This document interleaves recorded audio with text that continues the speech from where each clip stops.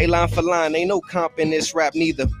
You waiting line for line and keep doing numbers. I gave them the game trust. We live for the summer. Got doctors and artists and athletic speakers. Come learn from my come up. I'm better than people. I'm in love with the grind. I'm in love with the culture. Yeah, yeah, yeah. Do this for the fam. Fam. Do this for Kenosha. You know I got you, Kenosha. If you got the vision, Yeah. then come a little closer. Come a little close. Let's get it together. go. Line for line with the soldiers. I'm in love with the grind. I'm in love with the culture. With the culture, yeah. Do this for the fam. Do this for All right. Just like that, we're back in another very special episode of Line for Line podcast. I have two very special gentlemen in the building. I'll let them introduce themselves to the world. uh Jamire Davis. Jayden Gordon. And I'm going to see, I'm your host with the most, Devon Booker. As we get ready to get started this episode, just tell the people just a little bit about the two of you. Uh, yeah, we both go to St. Joe's. We're juniors, yeah. and we be playing sports.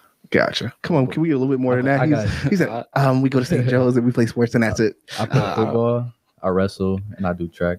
Uh, Yeah, I've, I've been wrestling for about 11 years mhm. since I was like four, and football since I was nine. How about you? yeah. I play football, basketball, and I do track too.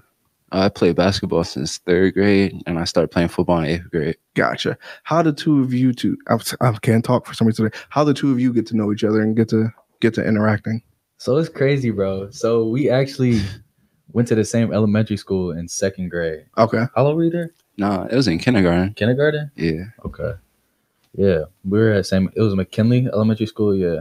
We Mhm. really met. And then where'd you go? You uh, I went to Grewenow, and then I went to KTEC until sixth grade, and then I went to Lance. yeah, and then we uh met back at high school, St. Joe's. At St. Joe's, right? Yeah. Tell us a little bit about that. How was it like for you guys over there at St. Joe's?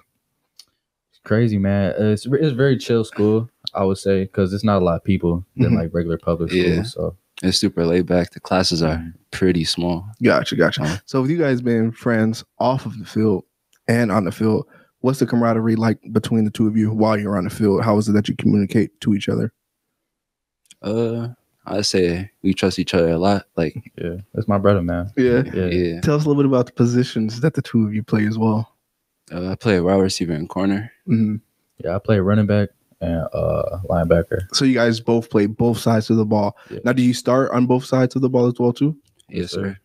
Tell us a little bit about that process because it seems like you have to be beat after a game playing both sides of the ball, especially competing at such a high level. Mr. 281 yards. yeah, it's very tired, man. Like I remember the recent game on Friday. I was so tired the first half, just like going back and forth. I remember one of our guys, uh somebody scooped and scored, and then like I'm trying to rush down the whole field try to get him, but Mhm. after that I was just Yeah. done and I Yeah, was just so hot. Like it was gas. huh? yeah, I was gassed after I had to sit down.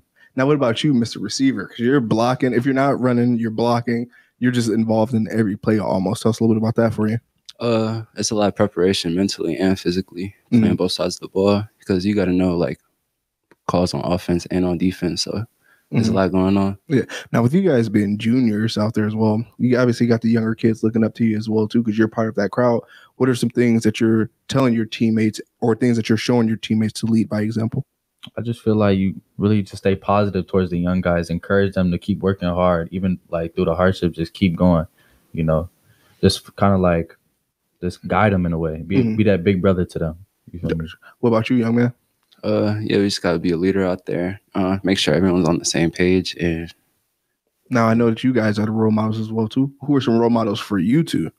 uh, last year, I would say Ben Butler and DeAndre Baptiste from our squad. hmm What about you? I would say, yeah, Dre, DeAndre, and CT. He was number four, right? Yeah, Yeah, with the dreads. Yeah, Oh, yeah, definitely remember seeing him out yeah, there going Kid crazy. too. Yeah. Now, how how is it? How much of that the impacts your guys' playing style now with you guys having people like that go off to college, people who are pillars of the team? I feel like pieces of them like stuck with us also. And like a lot of the energy that they brought, like we kind of like bringing that over to our team Mhm. also, Yes, sir. especially with the new freshmen coming in, just showing them the way. Gotcha, gotcha.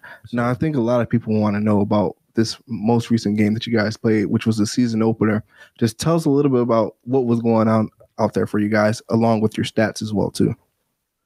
Uh, yeah. So the first half was a bit sluggish. You know, we was getting locked up, and Oh, for real?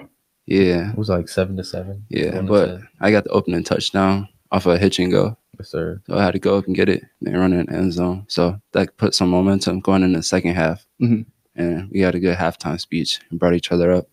You know, try to clean up the mistakes.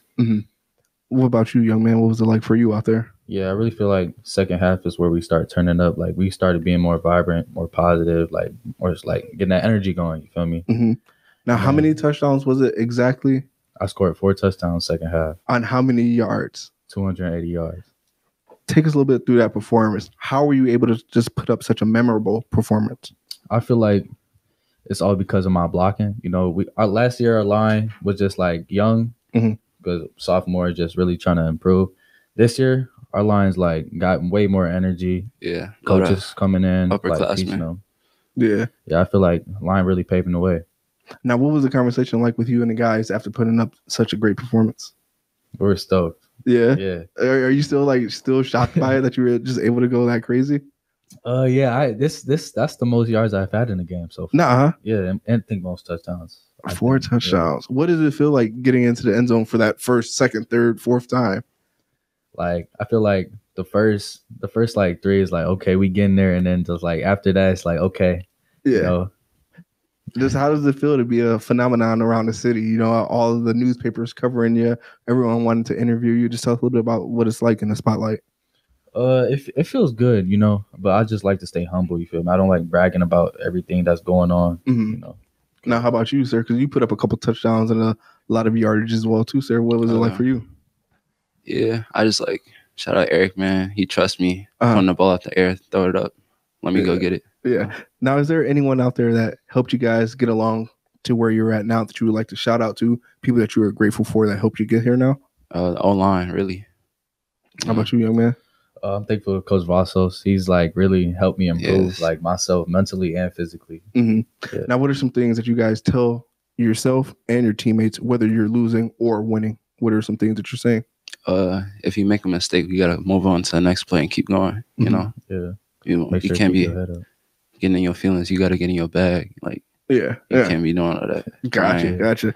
Now, as we get ready to close out this phenomenal episode, I want to tell, I want you guys to tell me one thing that you guys can improve on as a team and individually. Uh, as a team, I feel like we should have more energy going to the next game Mhm. and don't be looking past anyone. Mhm. Like we just gotta dominate straight out the gate instead of in the second half to go off. What about you? I feel like we really, yeah, I feel like our energy, just like knowing that we could go out there and really punish like the other team, like really take that win, Mhm. versus like doubting ourselves, you know, because we're we're we got some good guys on there. I feel like we could really go all the way. Just are we willing to put in that hard work to get there? Yeah. Now, if there was one thing that you could improve on, what would you say it would be? I would say trusting like my vision, trusting my vision. Just as soon as I hit that, just go. You know, Mhm. really just trusting in myself.